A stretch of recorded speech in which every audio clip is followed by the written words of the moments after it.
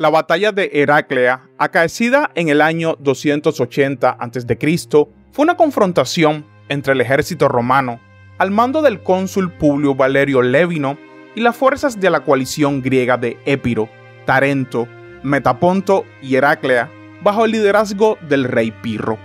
El teatro de operaciones fue el área denominada por la ciudad de Heraclea, cerca de la moderna Polícoro.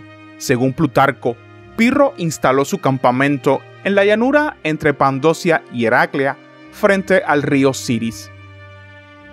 Sin embargo, Tito Livio y Plinio el Viejo indican que Pirro en realidad estaba acampado cerca de la ciudad, pero fuera de sus límites territoriales. Se considera, con cierto grado de probabilidad, que este campo estaba aproximadamente a 11 kilómetros del mar Jónico y a 6.5 kilómetros de Heraclea, en el actual territorio de Tursi, donde una vez estuvieron las antiguas murallas de la ciudad de Pandosia.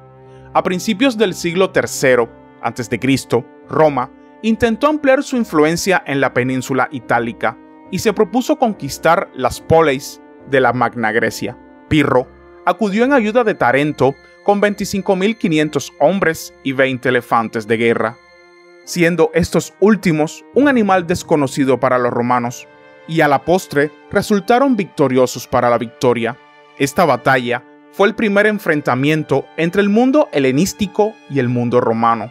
Desde un punto de vista político, la victoria de griegos y epirotas fue inmediatamente beneficiosa para la coalición, ya que tras este choque, muchos políticos de la Magna Grecia pidieron protección al rey epirota. Sin embargo, este acontecimiento no resultó decisivo desde un punto de vista militar, ya que muchas ciudades permanecieron leales a la República Romana. Al llegar a Tarento, Pirro comenzó a prepararse para la guerra. En primer lugar, se dedicó a la formación de destacamentos de, griegos e itálicos locales que querían resistir la expansión de los romanos. Al mismo tiempo, el cónsul Publio Levino, con un ejército de 50.000 efectivos, fue enviado contra Pirro. El rey Epirota, al enterarse de su llegada, partió de la ciudad sin esperar que se acercaran las tropas de los aliados itálicos. El rey, queriendo cubrir la colonia tarentina, tomó posición frente a la ciudad, en una amplia llanura al otro lado del río, conveniente para el uso de falanges y elefantes. Para enterarse rápidamente de la llegada de los romanos, Pirro colocó destacamentos de guardia a lo largo de las orillas del río. Al llegar al lugar, Levino decidió no dudar y fue el primero en iniciar la travesía. Los guardias de Pirro lograron advertir al rey sobre el cruce. Las fuentes no describen con suficiente detalle el tamaño y la composición del ejército romano. Al mismo tiempo, existe una descripción bastante detallada de las fuerzas griegas. Tito Livio suele dar cifras exactas de soldados romanos, pero parte de su obra que describe la guerra pírrica no ha sobrevivido. Así, los datos sobre el tamaño de los ejércitos provienen de Plutarco y se complementan con suposiciones sobre el tamaño del ejército romano.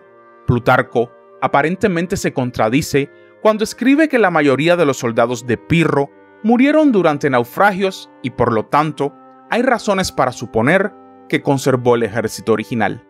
La batalla comenzó con el avance del ejército romano. Levino dividió su caballería y la transportó a través del río Siris en varios lugares a la vez. Dirigió la infantería a través del único Vado. El rey de Épiro intentó arrojar a los romanos al río con un ataque de caballería y con un destacamento de 3.000 jinetes. Él personalmente corrió hacia el río, al mismo tiempo que ordenó a su infantería que formara en formación de batalla, y aunque no fue posible tomar por sorpresa a los romanos, ya que estos habían cruzado y se habían preparado para la batalla, el rey atacó inmediatamente a la caballería romana que avanzaba. El propio Pirro mostró milagros de coraje personal en batalla, casi perdiendo la vida.